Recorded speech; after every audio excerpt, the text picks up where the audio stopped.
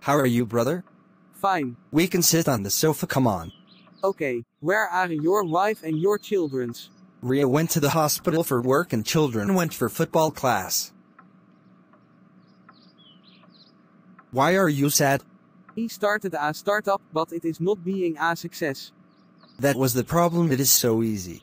You can say like this because you are a doctor, no need to worry because wherever you go, you will get job.